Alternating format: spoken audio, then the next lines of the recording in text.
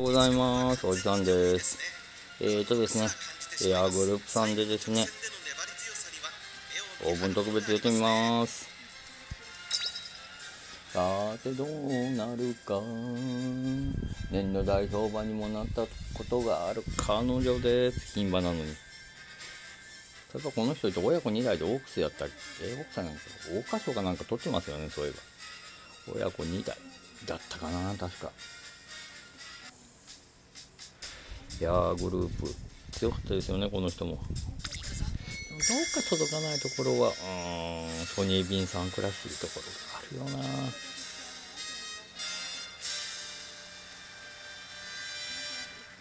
でもまあ、ちょうどあの時ってそうよな、これという馬が言うわけじゃないですけど、うん、いう時だったから、まあ、この人が盛り上げてくれましたよね、よく考えたエアグループさんが競馬を。この子です9番2番人気を紹介しましょう。ライスシャワー威風堂々とスタートを待つのはこの馬娘。1番人気この良い馬でしたけどね、エアグループも。いい顔してますね。ゲートイン完了。出走の準備が整いました。言われたらこんな感じかな。あれ、どこにおる？いや、外枠じゃ。ありゃー。13番1番14番ライシャワーがどこにいる？け。辛そうの方が息がいいじゃん。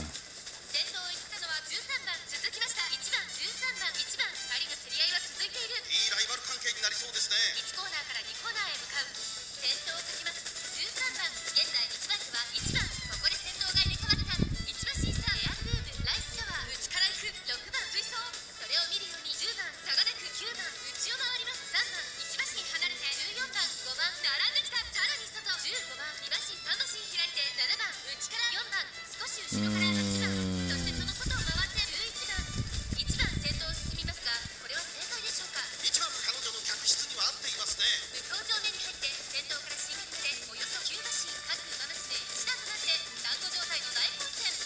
だな、見えにつかなかったから今。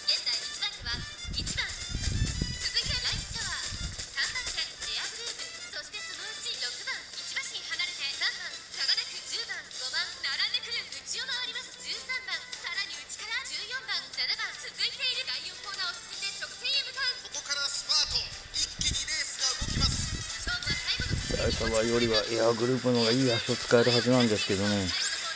おじさん的には。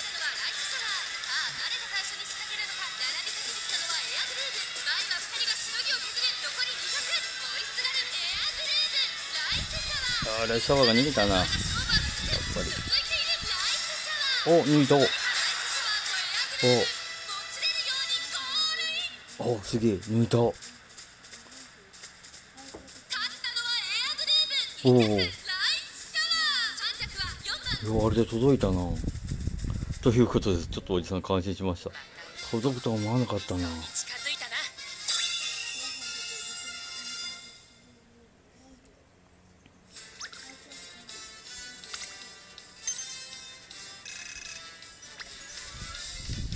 ということでライブ行きます届くとは思わなかったなちょっとびっくりです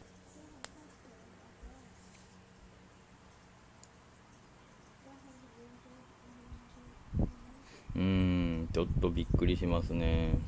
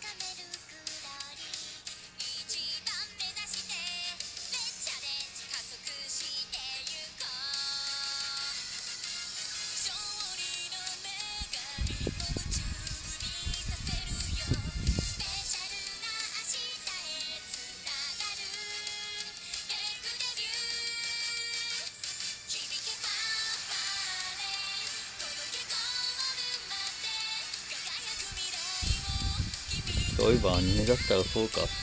ペけたん最初の時のあれで踊れないから立てたんですよね。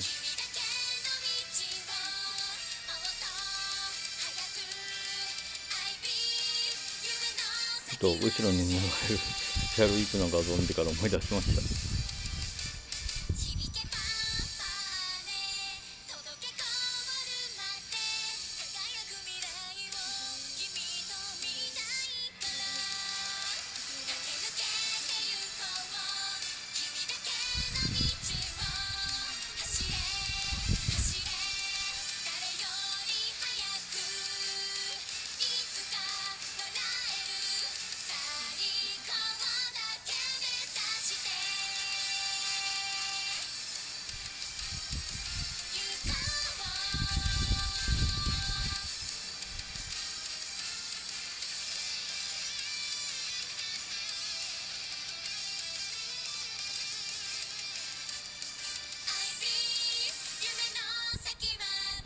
ご視聴、あと高評価とよろしくお願いします。